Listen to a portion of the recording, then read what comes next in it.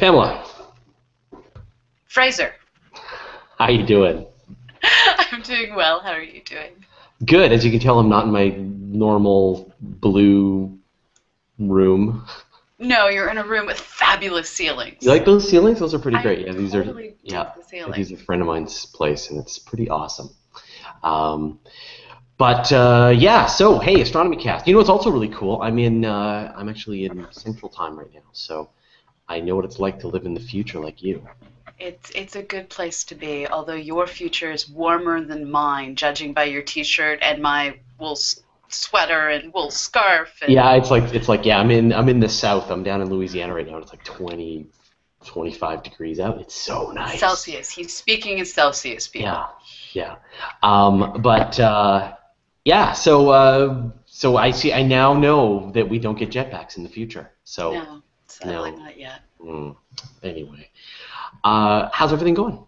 It's it's going well. I, I think the highlight has been everyone sending me the skydiver almost getting hit by a meteorite and going, "Is this real?" And going, uh, "No, I don't think so." But I don't think so. But and and I'd love to hear your thoughts on that. Sure. So um, I'm gonna say so. Philip Metzger from NASA has run some simulations, and either it's a very tiny pebble, just a few, uh, you know, just like a few centimeters away from the camera, you know, something, you know, a rock, or it's a very large object, 12 to 18 meters away from the from the parachute, and That would have been found.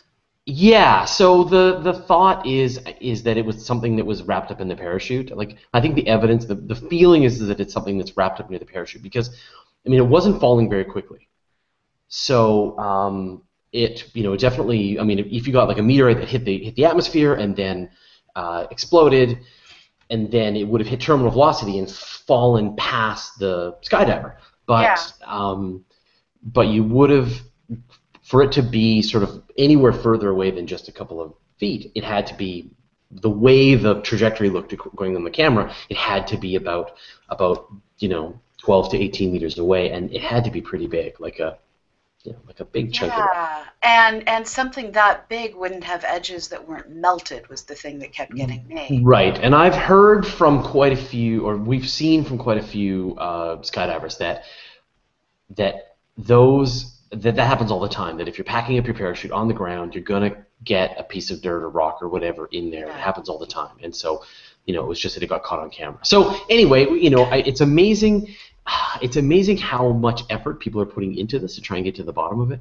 Uh, but right now, the uh, the feeling, I think, I think the evidence is going to end up on not a meteorite because I- it's, I- it's crazy complicated and difficult for that to happen. Yeah, yeah, I'm totally with you on that. I'm I'm mostly just amused that it the the number of people emailing me.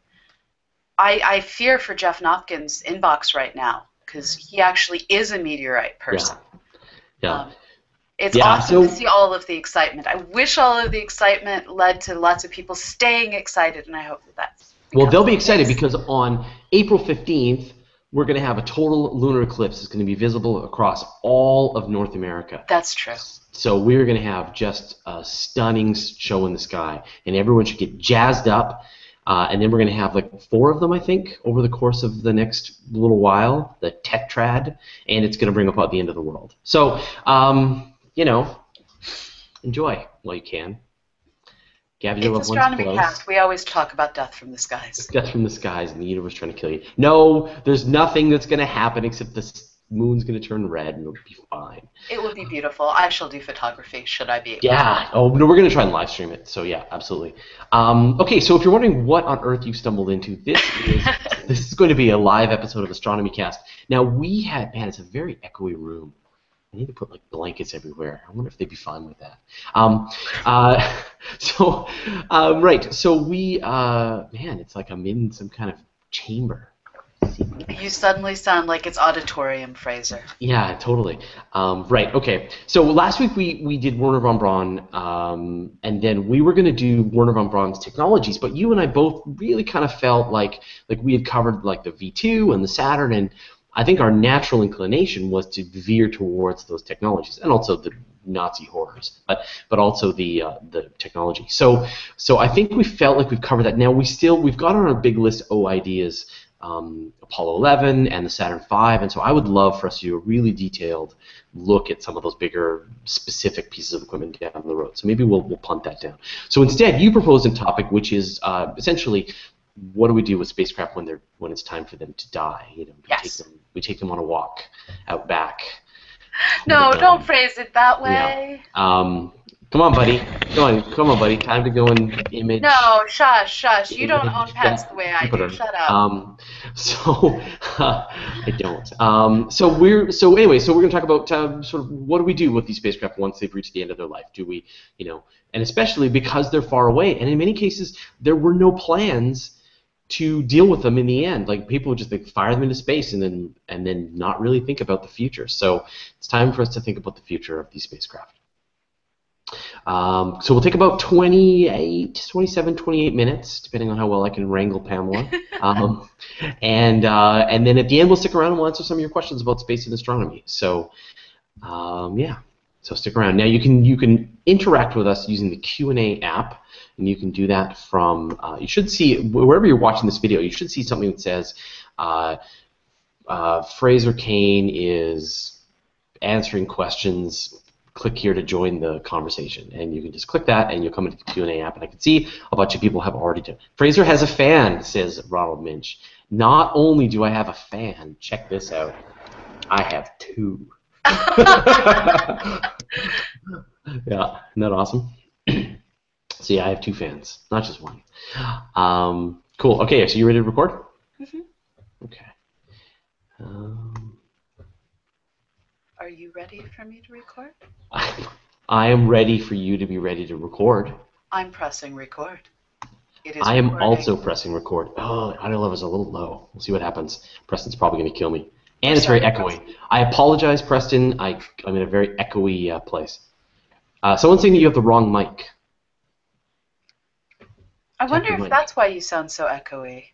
Oh, well, I'm using this mic. I'm using the camera mic because I've found that if I use my, my Blue Snowball, uh, people have been saying that it's been kind of echoey. So, so I'm using the Blue Snowball for my recording, and I'm using the uh, the camera mic for the, the YouTube, the live show. But Okay. you, but apparently you have a hollow sounding mic. I have a hollow sounding mic. hmm My levels are really low, and I don't know why. Tap your mic. Nope. Oh. Wrong input. Okay, hold on. Thanks. Hey, Um, oh, it's using the microphone that's sitting on my desk. We're Yeah. sorry. I'm sorry. That was entirely my fault. Whoa. Hello. Okay, well, do you know? Okay, that's not fair. Okay, let me switch. I'll see if this if mine fixes as well. Hold on. I'm going to stop my recording. We can restart this recording. Yeah, I'm gonna start. So I've switched to my. Uh, to Oh, my so much better. Does that sound better? Yeah. Does it sound echoey? Because last time I did this, people were like super echoey. But The No. other one was more echoey. yeah, so this is fine. Okay. Yeah, right. yeah. Thanks for ca- man. I love having the live audience. Isn't that just the best? Yes, yes, it is. So should I press record again? Uh, if you want. I'm gonna pressing record. Hi, Preston. You don't know it, but we just saved you many moments of laughing at us and having Right. to cut it off because neither of us had the correct mic. But use. now we have the right mics. And hello, Preston. And once again, we thank you for your awesome editing. Uh, okay, here we go. Astronomy Cast, episode 342 Sun Setting Spacecraft. Welcome to Astronomy Cast, our weekly facts based journey through the cosmos, where we help you understand not only what we know, but how we know what we know. My name is Fraser Cain. I'm the publisher of Universe Today, and with me is Dr. Pamela Gay, a professor at Southern Illinois University, Edwardsville, and the director of CosmoQuest. Hey, Pamela, how you doing? I'm doing well. How are you doing, Fraser? Good. I know I'm sounding like a broken record, but I would like to plug Okay. the Hangout-a-thon. Yes, April 26th, 27th. I'm actually going to start posting blogs about that today. Uh, so, last week, for those of you listening to the audio recording, you'll have multiple things to catch up on where I'm going to talk about the history of CosmoQuest and what it is exactly that we're looking for funding for. Um, so, you know, hopefully many of you out there have jobs. If you don't, we hope you find them quickly. Um, and if you want to consider getting your employer involved to help sponsor us, we're looking for corporate sponsors, we're looking for clubs to donate money. Um, right now, I just got back from the National Science Teachers Association meeting in Boston, where all of us who do astronomy education at one level or another, we're pretty much walking up to each other and going, are you okay? Are, are you going to make it? And it was like we were talking to a bunch of other terminally ill individuals because well, NASA's budget for doing citizen science, for doing education, for doing communications, all of those fabulous things is currently less than what one individual reportedly spent for a commercial ticket to go around the moon someday in the future on unproven technology. Um, we need help, and we're hoping that you'll help us define the future of astronomy, citizen science, education, and communication with your your business, your friends' contributions. So what's the the date again? That April 26th, 27th. Um, we're going live at 10 a.m. Central, 8 a.m. Pacific, uh, 4 p.m. London, and we're going live for 36 straight hours. Nice. I'm not. I mean, it's going to be pain and suffering, but in the cause of uh, raising funds for yes. CosmoQuest and astronomy research. So, uh, okay, great. One last reminder is that if you're if we've timed everything right, you're listening to this on April 14th ish. Yes. And if so, tomorrow on April 15th is going to be a total eclipse of the moon that should be visible in all of North America. So if you want a good time, uh, we highly recommend that you do that. Go head outside on uh, April 15th around. Well, it depends on what time it is. Um, but if you don't know what time it's going to be where you are, Fraser mm has an app for that, and I just mm-hmm. needed a reason to say he has an app for that. I have an app for that. Yeah, so it's the Phases of the Moon app, which I'm holding up to the to the video, but you can't see it. So anyway, when check it out, it turns. Let's see, should turn red. Oh no, not in that one. The Pro version. Anyway, sorry, Preston. anyway, and it turns red on the Pro version for the uh, lunar eclipse, which is really cool. So so go ahead, get that pro version and get yourself outside and enjoy the lack of yeah. moon. Yeah, we're gonna have. I mean, this it's been a long time since we have a really nice uh, lunar eclipse, so this is gonna be great. Anyway, people don't stick around for our jabber. Let's get on with the show. uh, uh, okay, here comes the uh, intro. Uh, so everything dies, including our technology. But when we've hurtled a few thousand pounds of robotic instrumentation to another planet, it gets a little difficult to shut it down and clean up. So what do we do when a mission has reached the end of its useful life? What do we do, Pamela? Now this, uh, so so can, let's provide some examples of of some uh, some spacecraft that have that have been uh, that have reached the end of their their utility. Well, I, I think my my favorite case of end of lifing a spacecraft is Galileo.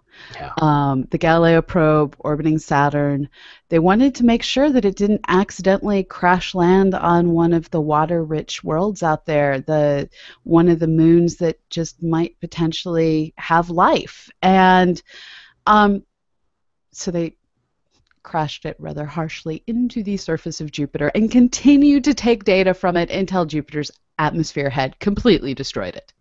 Right, but this is it's funny that they did this. Like had they not when they launched this mission, I guess they didn't know necessarily the the extent of the liquid water on the moons of Jupiter when yeah. they launched Galileo. So they hadn't really considered that it was a potential host for life, and then they launched the spacecraft with its, you know, uh, I guess not a very clean environment. I mean, there's absolutely going to be bacteria all over Galileo, and as we know, that stuff that hardy bacteria can last for thousands, hundreds of thousands of years under really extreme environments and come back to life. And so, yeah, if you crashed Galileo into a nice warm environment, wet environment, it that bacteria could get rolling.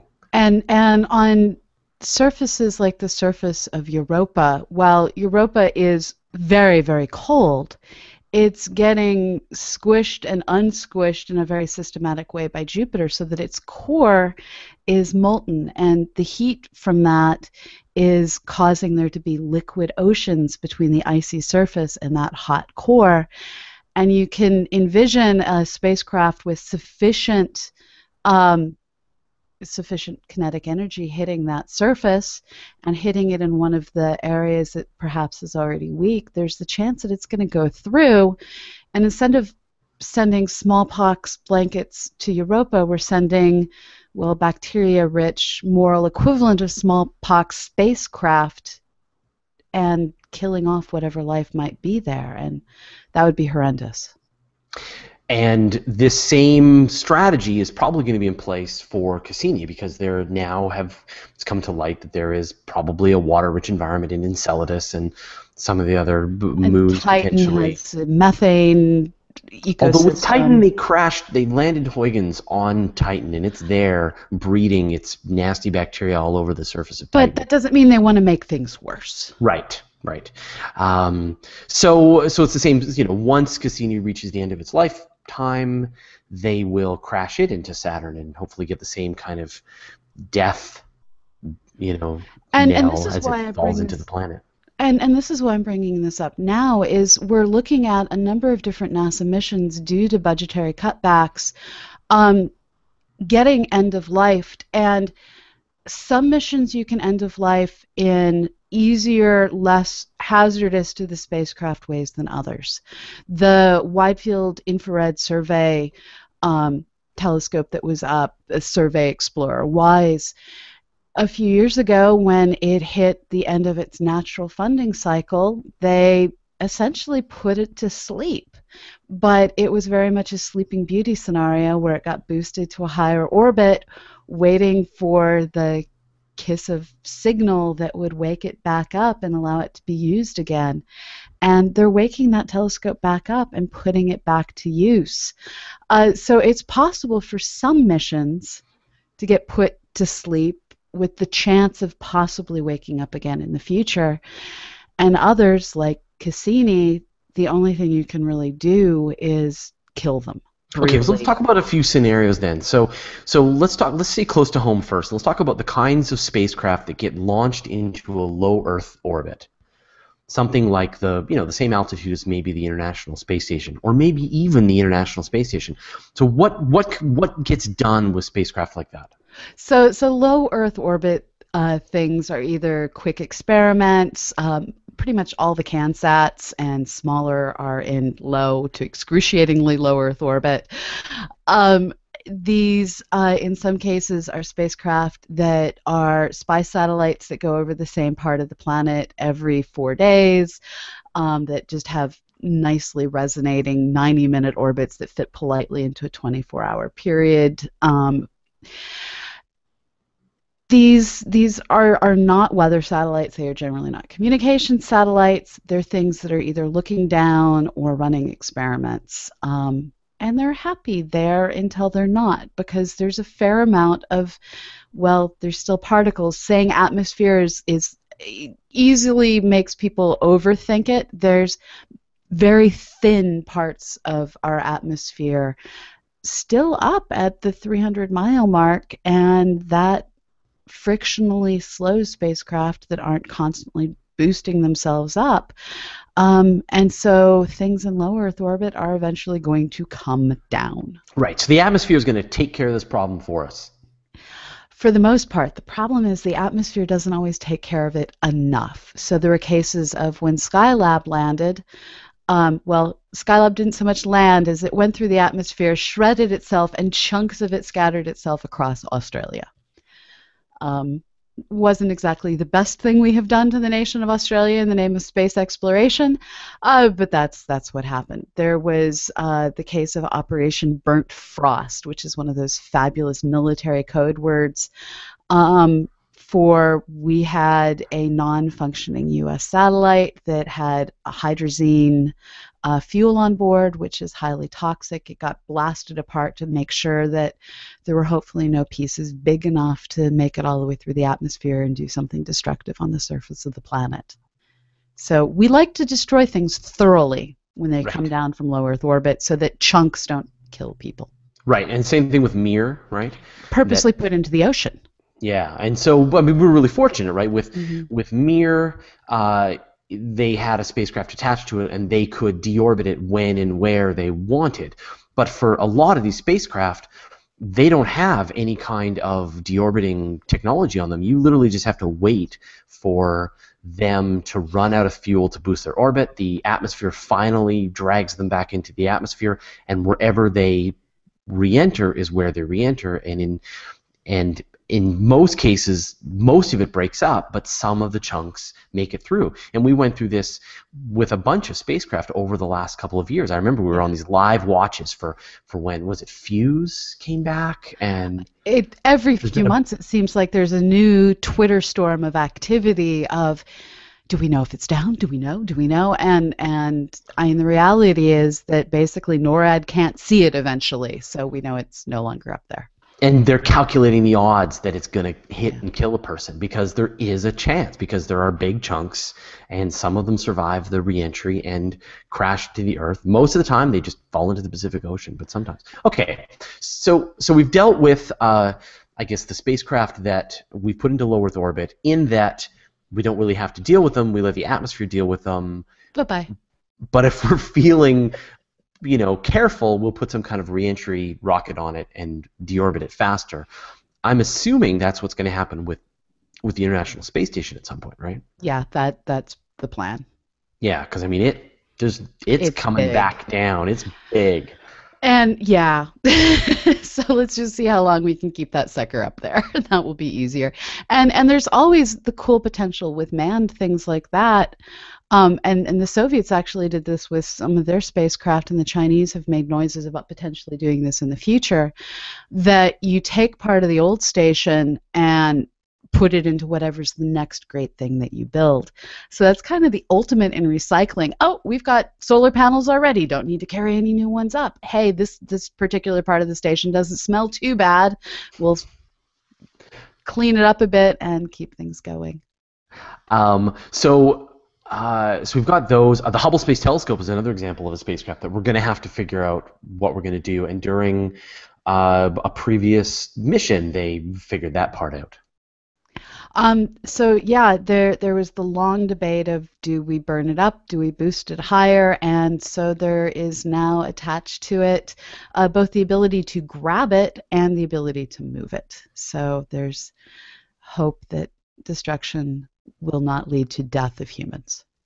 Uh, right. Okay. So let's talk about some other spacecraft then. So we've talked about the low Earth orbit. So what about a little bit of a higher orbit? We've got something that maybe is 500 kilometers, 1,000 kilometers, something that's not going to get dragged down into the atmosphere. You know, stuff that's on polar orbits. Uh, some of the navigational satellites are at this sort of mid-range altitude. What do we do about them when they reach the end of their life? They pretty much get to die in place, them and everything higher than them. Um, occasionally, they will move things to new orbits before they completely die, and this is simply so that you can park a new spacecraft in a preferred orbit. Um, you can imagine if we left everything that gets put into geosynchronous orbit in place, you'd end up with eventually a solid band of spacecraft around the Earth's equator, several, many, many thousands of miles up. Um, we're a long way from that happening, but there's still preferred places to be if you want to make sure your signal uh, is perfect for some metropolitan area, that your weather is is ideally getting that range of of the planet that you want to be able to predict. Um, so they do tend to move those things into what are called parking orbits, where they're pretty much out of the way and can peacefully stay and until there's actually many different nations that are working on plans to build things that will grapple on and either retrieve, bring back down to Earth, or destroy these dead satellites that are clustering, uh, cluttering up the Earth.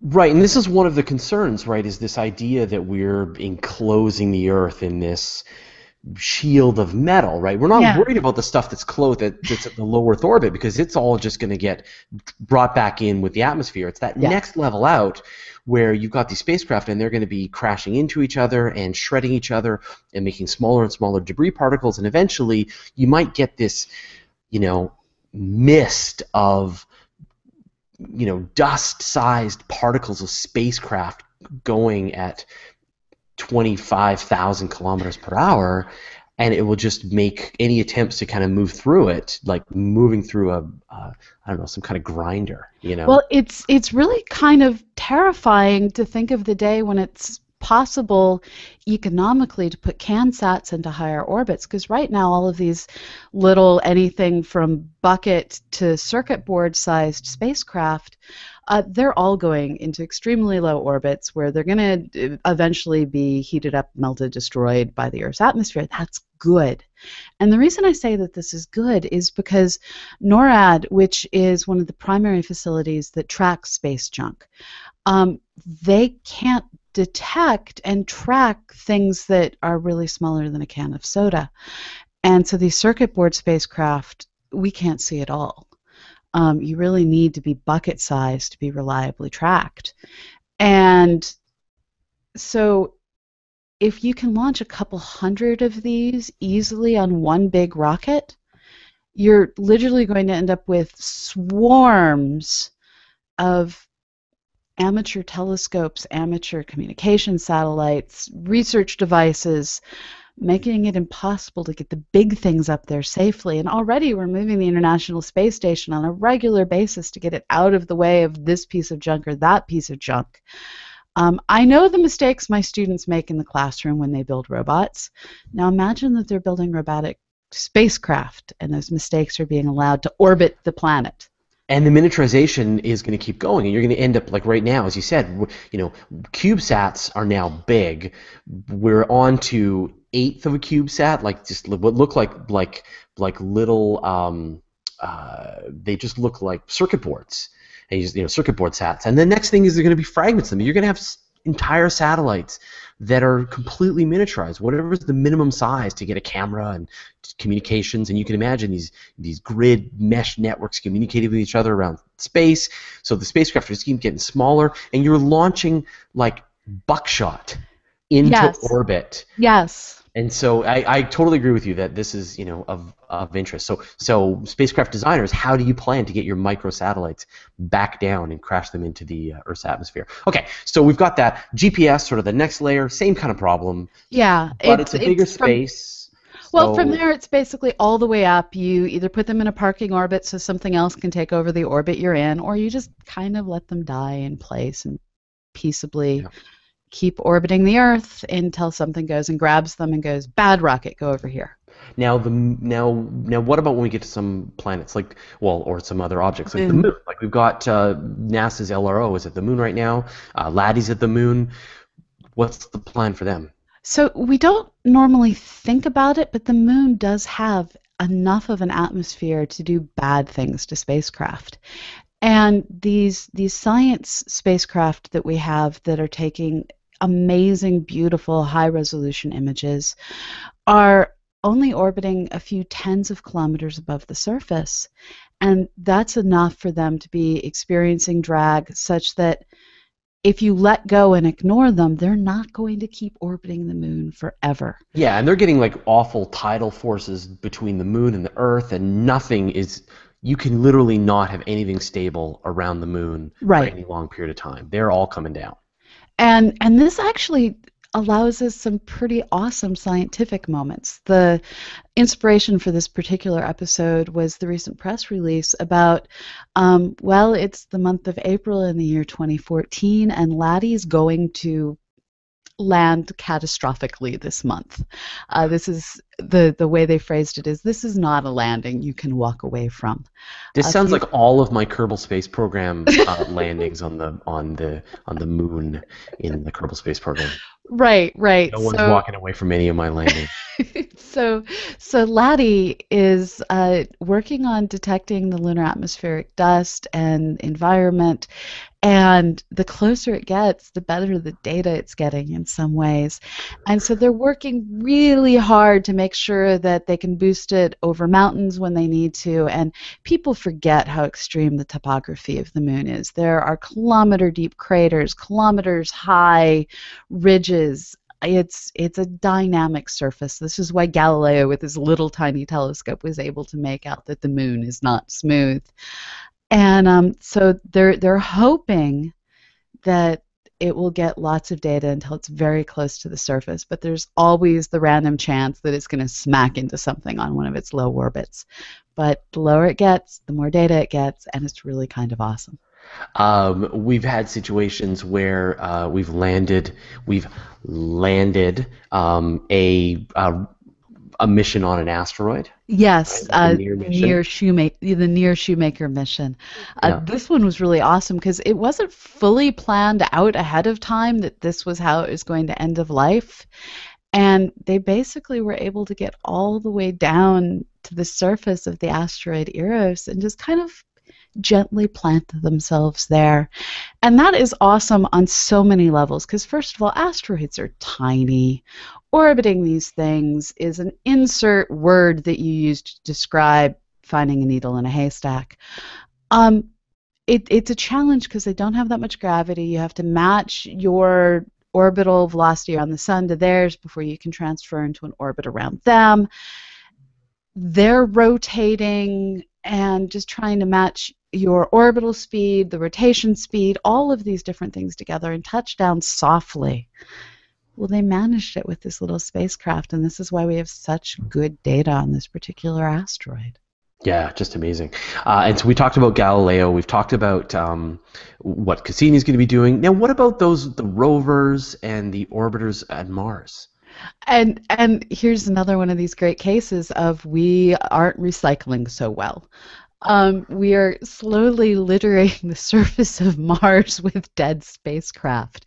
There's a bunch of great comics all over the internet about aliens walking across the surface and just seeing everywhere they look these dead rovers kind of everywhere. And we periodically have crashed other things that weren't quite meant to crash onto Mars.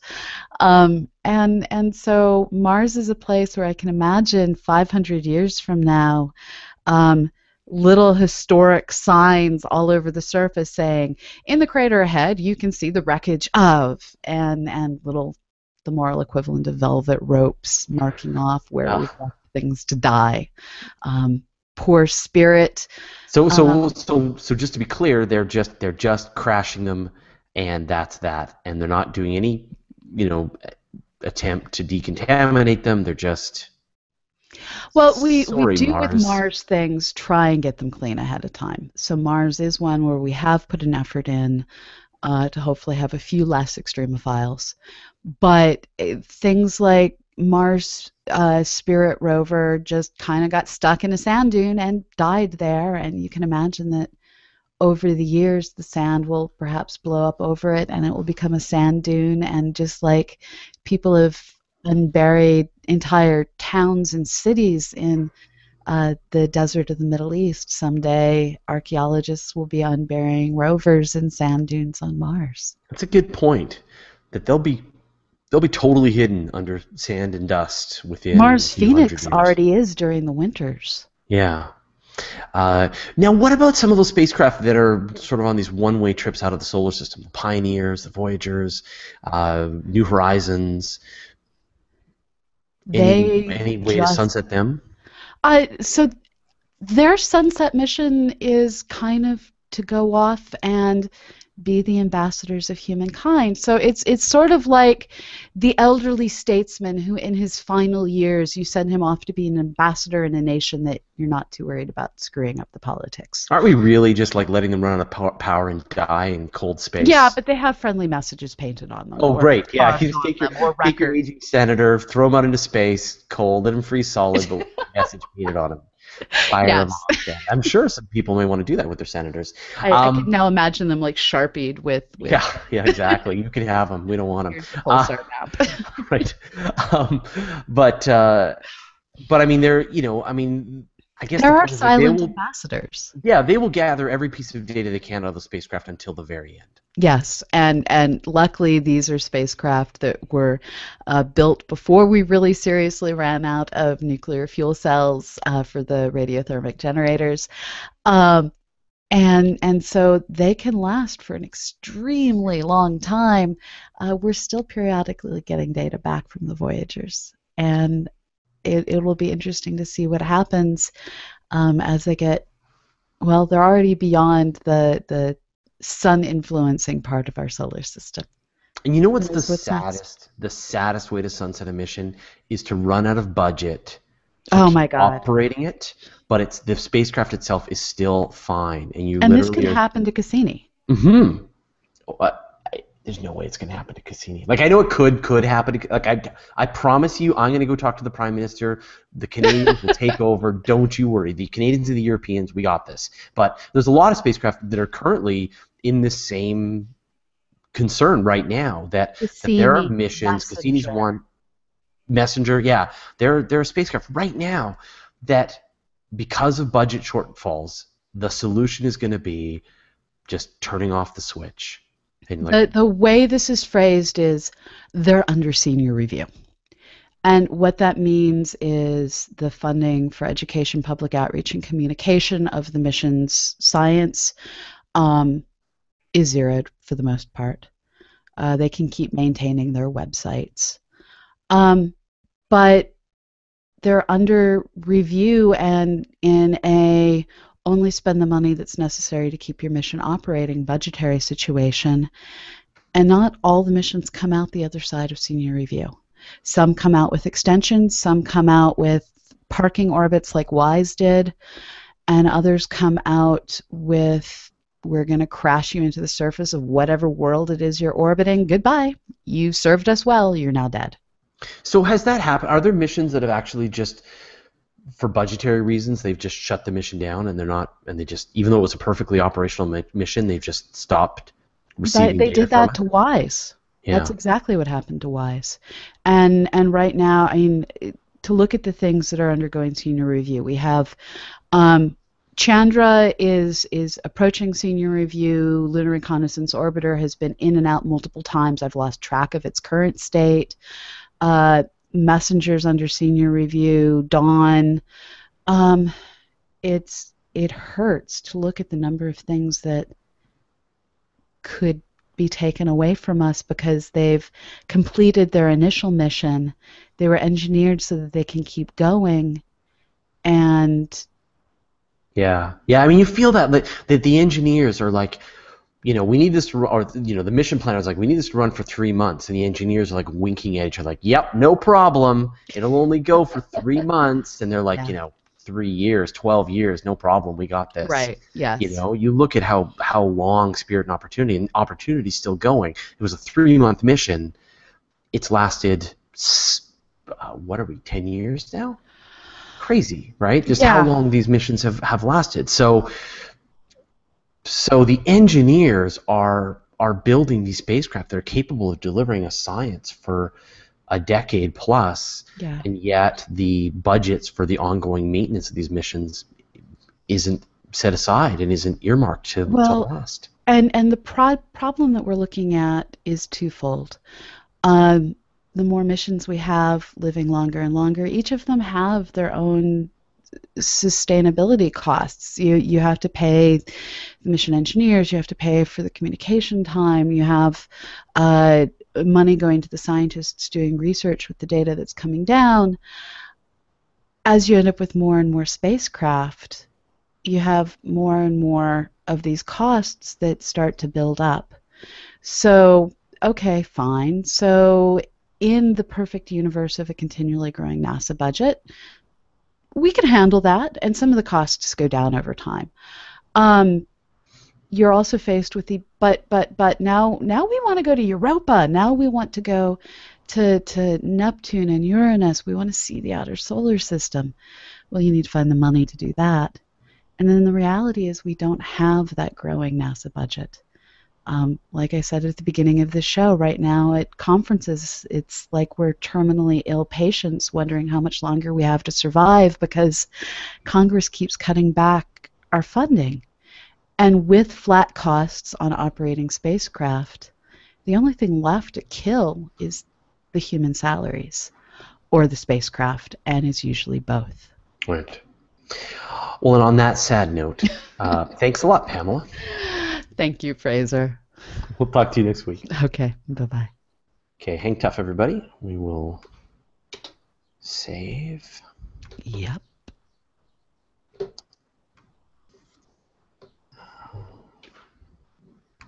And then I will export. I will upload to Dropbox.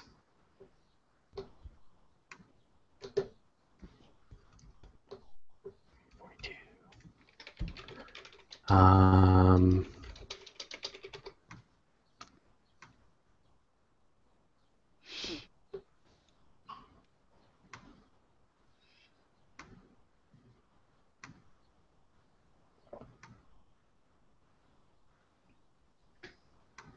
hmm, why won't export? Okay, I'll figure that out later.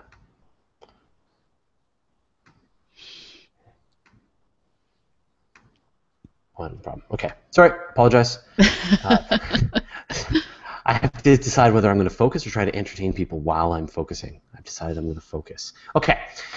Uh, so let's get on with some questions. So Hugo Burnham notes that LADEE is going to be allowed to crash onto the far side of the moon around April 21st. So that's soon. And and that is presuming they successfully miss mountains. Right. It's going to be close. Like to actually exactly predict when this is going to happen is going to be tough. And and Uh, they're actually encouraging people to basically place bets on when it's it's going to actually crash on one of their websites. I am totally going to place your bets. um, okay. Uh, Stuart Rosenberg says, off topic, I just found a photo of a total eclipse from 1924 from my father's collection of old photos. Awesome. You need to post that online and like Yeah. tag us because I would love to see. would, I'd love to see it. I'll totally share it. Um, RJ Robledo says, uh, any o- opinions on the upcoming SpaceX Dragon capsule launch? When's the next SpaceX launch? Uh, I thought they had bumped it to Q1 2015. Well, because there was all these problems, right? And they Yeah, so they, they did have to delay it. Um, I I I'm a fan. Um, they launched a wheel of cheese. I pretty much squeed at that and became their fan because uh, they have excellence in engineering and humor. Um, Uh, let's see. So then they're targeting the Falcon. The SpaceX Falcon 9 is going to be with the CRS-3 Dragon is going to be April 14th. So that'll be a week from today. Okay, I'm thinking of heavy lift is Q is Q1 2015. Yeah. So um, I love the Dragon. I, I wish I've seen one in person. I've, I visited SpaceX and got a chance to actually see the Dragon, the one that had already launched with the Wheel of Cheese. They've got it hanging in SpaceX, and I've got a picture of me in front of it. It's it's it's amazing. SpaceX is the best place ever. It's Disneyland for space nerds. It's And- amazing. And one of the things that saddens me in ways that I, I don't even really have the vocabulary for is I think that the current uh, issues going on in the Ukraine and how uh, the US and EU are working to respond to those um, is going to lead to an acceleration of the US manned space initiative um, and a sense of urgency that wasn't there before. And I'm hoping that sense of urgency puts us on a faster track without decreasing the safety of that track. I understand. Competition I, uh, things yeah. done, but it hurts. Yeah. But I think, you know, I mean, I know that this is good for SpaceX, and I know this is a good, you know, it's, it's just too bad that it had to go down this way. Yeah. So, um, uh, Guido Bieber says, is there any thought about the space junk in the Apollo era? I remember here that the Apollo hardware is still somewhere around in space. Uh, I don't know what they routinely did with the command modules. Yeah, um, every now and then, chunks of Apollo era stuff flies past the Earth. Um, they, I'm trying to remember what it was. There was a Saturn upper stage booster Yeah. that was in a weird orbit, and people thought it might have been. Uh, they, they thought it might be like another, like a captured asteroid. No. And now they and now Chunk they of a Saturn V. Yeah, they actually think it was a chunk of a Saturn V. So so we do interact with chunks of Saturn V. Some of them are are are gone. Some of them they brought you know big chunks of it back to Earth. Some of it's crashed on the moon. Some of it's flung out into space. So they And- weren't that careful about where all this stuff ended up. And one of the awesome things that, that I learned over the weekend, although it's probably been on the internet much longer, but I just learned it, is they've been able to use the Lunar Reconnaissance Orbiter images of the various Apollo uh, landing sites where flags were planted. And they've looked at series of images that have the sun in a variety of different places, and they've been able to see the shadows of the flags move with the sun angle, um, such that while you can't really in just one image make out the flag's shadow because the flags are so tiny. Um, but by combining and looking at multiple images with multiple sun angles, you can say, what? Yes, yes, they're still standing. So the next question is Has the sun's ultraviolet light completely bleached them out? And it's going to take getting back to the moon to find that one out. Uh, yes. Um, we actually have a video coming up on this topic that we did in, in, in about a week and a half. We got about how do we know the moon landings weren't faked. Uh, we did this on, on the universe today. It's, Cool. it's good. Um, Nancy Graziano says, How feasible is it for some of our inner solar system spacecraft to have a planned suicide into the sun rather than contaminating one of the planets? Um, getting to the sun is is not entirely straightforward. It's much easier to orbit it than to get to it, um, depending on where your actual target is. You have to have a pretty big energy change to go from a nice orbit in one of the Lagrange points or orbiting a planet or something to, to end up plunging to the sun. And a lot of the spacecraft don't carry enough energy to make that kind of an orbital transfer. Um, next one. Uh, Richard Strassel says, "Will Cassini keep doing science as it goes down, and we get some interesting readings from Saturn's atmosphere?" It should. Yeah, totally. We will get we will get the what is it like to fall into Saturn's atmosphere data. And Match it to. Galileo and uh, slowly but surely. Yes. Right? That you'll that you will you will look at what it was like for Galileo to go through the atmosphere, and then you look at what it was like for Cassini to go through the atmosphere, and that'll tell you things. Yeah. Things about what it's like to kill your spacecraft.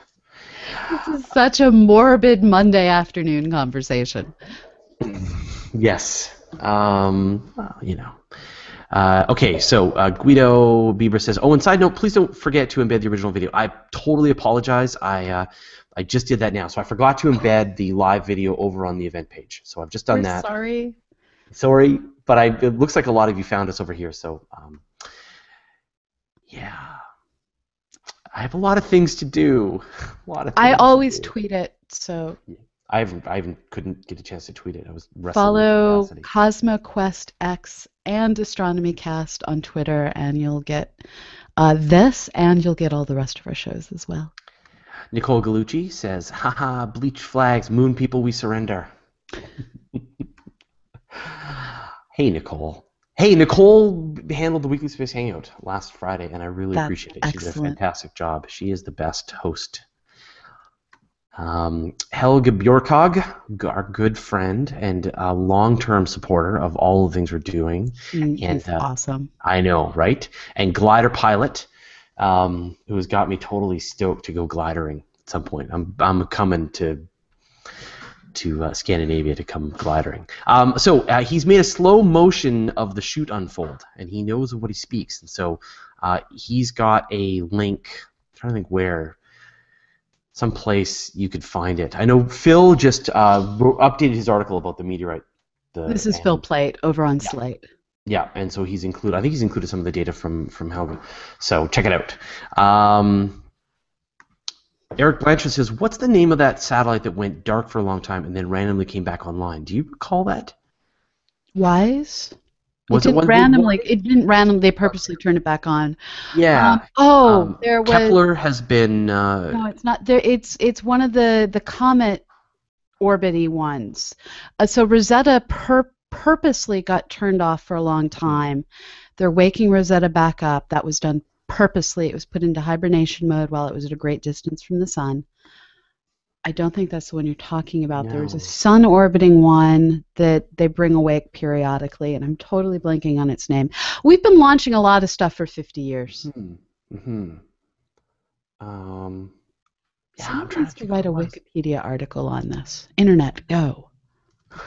So if someone can tell us what was the name of that mission.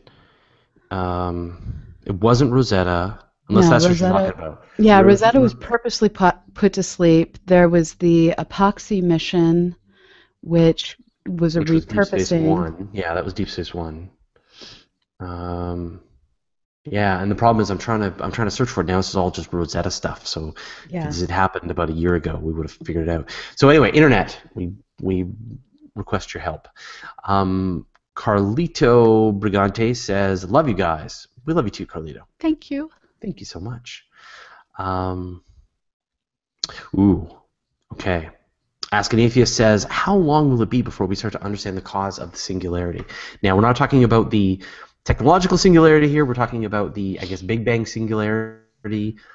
Oh, Do you think that we will get to understand the nature of the singularity that um, caused the universe? I I think that there's still even debate over whether or not it was a singularity or a wave function that uh, simply collapsed down to a new state.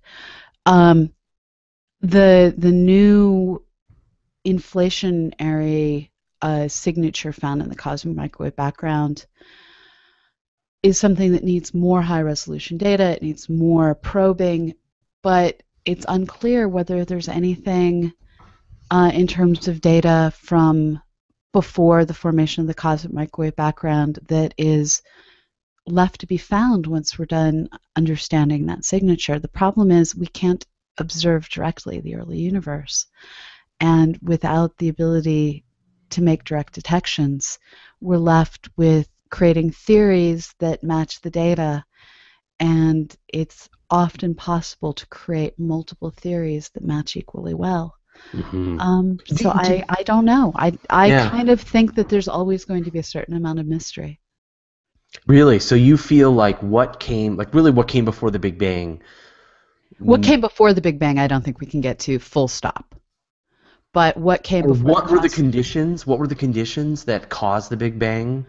I, I think any understanding of what the universe was like prior to a Planck time after the formation of the processes of the or the initiation of the processes of the Big Bang, we will never have a definitive answer to.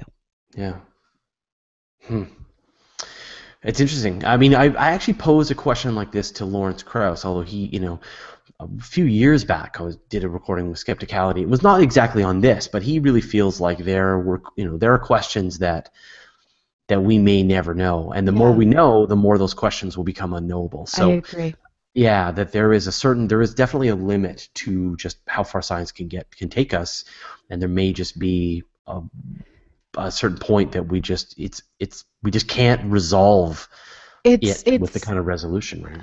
we have the Heisenberg uncertainty principle that says with any specific uh, thing, you can either know exactly where it is or exactly how fast it's going. Well, momentum is the word they usually use. Um, when it comes to our universe, we're limited in terms of Planck time, Planck distance, in terms of we just can't probe smaller than these things. Yeah. And I don't know if we'll even get quite to that stage because there's the cosmic microwave background as that wall of understanding that surrounds us. We can't stick Uh, our head through it. yeah, exactly. That, that the Heisenberg uncertainty principle may get to the point that it's the it's the overpowering concept at, at a certain resolution, and that you just you can't And the plank deeper. the Planck time, the Planck distance, Yeah, all of these yeah. things combined. Yeah, you can't probe any deeper without essentially influencing the outcome of your experiments more than you learn from them. So anyway, uh, which is not exactly the question you asked, but it's you know. It's yeah, we're not going to get there from here, is my guess. randomly interested. Um, Uh, Nancy Graziano notes, by, by the way, for the Facebook Hangout-a-thon, there are 22 members listed as going and 23 additional members listed as maybe. So hopefully this year's event will be at least twice as successful as last year. So if you don't know, Nancy is the administrator of the Astronomy Cast Facebook page. We are eternally in her debt, and if Can't you want to join it, just much. go. Yeah, really appreciate it. Uh, but if you want to join the Facebook page, by all means, go there and um, uh, and sign up. Uh, neither of us are very active there because neither of us are huge fans of Facebook. I, I have to admit, I use Facebook to talk with like my high school friends and stuff like that. And Yeah. I, I tend to live on Twitter when it comes to momentarily mutterings of the universe and Google Plus for things that I'm more thoughtful about. Yeah. Um, I needed a personal space. I know. I know. It's it's tough though. I mean, like literally, people have ways that they want to interact with us, Yeah. right? And for them, they're very comfortable and they enjoy reading us on Twitter, or they're very uncomfortable and they enjoy watch listening to us through the podcast, or on YouTube, or on Instagram, or on. And we've gotten to the point now where where we have to if we want to try and sort of stay on top of the conversations that are going, we have to be in 10 places at, at once, Yeah. more. Uh, 15 places. There's the We don't sleep forum, very there's much. The Quest forum. There's the comments on Universe Today. There's there's uh, feedback on iTunes. There's and each time a person posts one of these comments, they're like, you know, we want to know and be able to interact. Like right now, I'm using the Q and A app. Yeah. And I know some people are posting some comments over on the event page. And anyway, it's uh, it's you know I know it's a I know it's a it's a good problem to have that we have a lot of people want to talk to us, um, and uh, and a lot of ways to do it. And we will try our best to show up in as many places as we can. Um, thank you, Nancy, for making it so that we know when we have to be on Facebook and for building a community that we just, we're two humans. We need your help, and thank you. Um, Neo uh, notes uh, Neil Tyson's Cosmos mentioned the fact that everything we can see in the universe is only because light has traveled for X billion years. Are there any theories operating with the assumption that the universe is older than the observable light? No, Whoa. Nope. not reputable theories. no. People can So- make up stuff. and we did a whole series of episodes on like how big is the universe, how old is the universe, where is the center of the universe, and and so the universe is definitely bigger than the observable universe. Whether it's in infinite or finite, we don't know yet. But the the fact that the universe is 13.8 plus or minus a number I can no longer remember billion years old has been definitively shown through a number of different methods. That that's our universe. Yeah. But it's mind bending that you could have it be infinite and yet finite in time. It's infinite in space but not infinite in age and I Yeah. actually kind of like that. Yeah. Well, I posed that question to Mike Brown. I'm like, you know, what is the universe expanding into? Um, and he was like, well, the universe is expanding into time. Oh, that's That, I love that answer. It's expanding into time. feels time. like a cop out. No, he well, he knew the sort of more the other answer, but um, uh, Steve Peterson notes that Sir Roger Penrose was on NPR Science Friday on the fourth, and he had a lot to say about the Big Bang. He's So- an amazing communicator. Go back and listen to that. his like his books are just so thick and so interesting. I really have enjoyed some of his stuff. Um, was it the Fabric of Reality? What's the book he did? He did a book, did a book a few years ago, and really interesting stuff.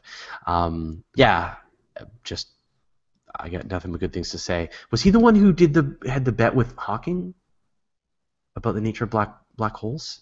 Was it Penrose? I think so, but it, I may Yeah. be convoluting multiple things. Yeah. I'm only on yeah, the Hawking bet. Yeah, yeah. So, so essentially, do black holes. This is, you know, Penrose is the guy that you know, do black holes. Um, do black holes consume information or not? Can information come back out of them? And uh, Hawking and Penrose sort of came on opposite sides of this question. So, and had a bet. I think Hawking, but now Hawking Lost. says that maybe there's no such thing as as uh, event horizons. So, um, uh, Carlito, Carlito Brigante also asks, I've always wanted to know, is a black hole a circle sphere or is it a flat black hole? It's a sphere. Well, Yeah. okay, let me rephrase that. It's an ellipsoid, and the exact shape depends on its rotation rate. Nice. It's three dimensional. Yeah. Um, and what's amazing is that you can rotate this black hole close to the speed of light, and the whole thing kind of flattens down, and the event horizon flattens down, and you get to the point where the event horizon is just about to reveal the singularity itself, and and it doesn't, and that's where it stops, and that's the speed, the maximum speed that a black hole can rotate, is that point where the event horizon is just about to reveal the singularity, which is just mind bending. And we've talked about this. Thank you, Pamela. Um, Hugo Burnham says, "Man, we've we've gone into cosmology speculation land. Your favorite." um, is the universe bigger than it's observable because of inflation happening faster than the speed of light? So why is the universe bigger than it is observable? It, it's because of the expansion rate. I mean, if, if you think about it, light travels at a finite speed, but because the expansion controls every small every small bit of the universe, uh, it's possible for an object in the distance to be effectively getting carried away. It's not moving, it's not its own velocity, it's effectively getting carried away at greater than the speed of light because of this expansion.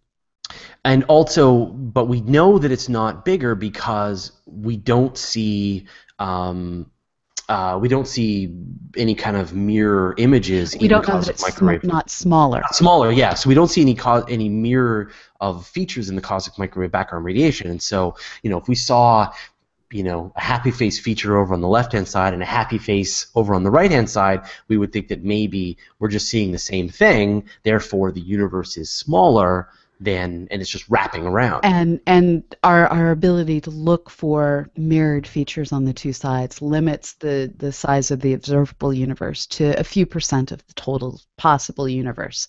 That's a limit. Um, it could be that we're like a bazillionth of a fraction of the total universe, um, but we're limited to being no more than uh, a few percent of the entire universe. Uh, Ricardo Ray Santos says, before we raise up into the cosmos to find communication with another source of life, do we really need to learn how to communicate here on Mother Earth? Um, I'd both. like that. Both. I choose. Let's Well, I, I think if we can find aliens. if we can learn to communicate faster than we can raise the money for the uh, telescope equipment, I'd be happy. Right. But I think the point is like how to get along. Can we learn how to get along here on Earth? They're, they're mutual. They're not mutually exclusive. We'll do both. Uh, Ronald Minch says, "I'm waiting on a new space invention, a new fuel, a new engine. We can make some awesome, awesome computers compared to 40 years ago, but rockets are still slow and heavy." Uh, Elon Musk and SpaceX are cracking this problem. We are, we are almost there. Because the goal, I mean, Elon says it's just about like imagine you would take your your fifty billion dollar airliner, you would or fifty million dollar airliner, you would fly it for one transatlantic mission, land it, and then detonate it. Yeah. And that's you know, but instead we refuel them. And so this is the this is Musk's whole plan right now is to make as many parts of the spacecraft fully reusable. The rocket takes off, the bottom stage detaches and flies back to the landing pad. The upper stage goes around the Earth and then flies back to the landing pad, and so you end up with very small amounts that aren't that aren't reused. So we're, I think, if this can get figured out, we are very close to a revolution in in spaceflight. Slowly, slowly. Do you concur? All right, we'll take uh, one more question, and then why don't we wrap this up? Um.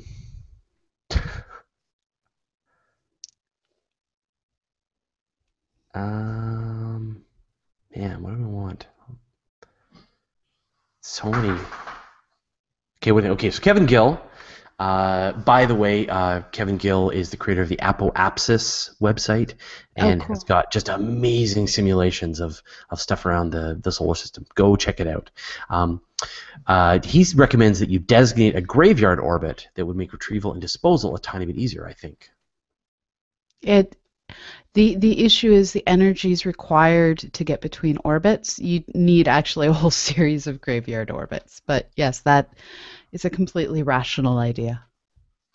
And even uh, it'd just be a requirement. Like if you're going to launch that rocket, it's got to be able to go to the to the graveyard orbit, and you can do it slowly. Take your time. Put on Yeah. put an ion drive on it, and you know take your time to get there. But it's your responsibility. If you're going to, you know, someone's got to check to make sure. Yeah. Yeah. Okay, cool. Well, let's wrap this up. So, hey, thanks to everybody for watching. Thanks as always, Pamela, to providing your brain. We really appreciate it. And uh, one last reminder hang out a thon. April 26, 27. Um, I'm hoping to even get T-shirts printed. Well, T-shirts so that you can order them from Spreadshirt that say "I survived." Uh, so come survive it with us, and uh, that will be going up later this week. So stay tuned on Twitter, on Google Plus, um, and get the links to get your shirt to share with us. Awesome. All right. Well, hey, thanks again. We'll see you all later.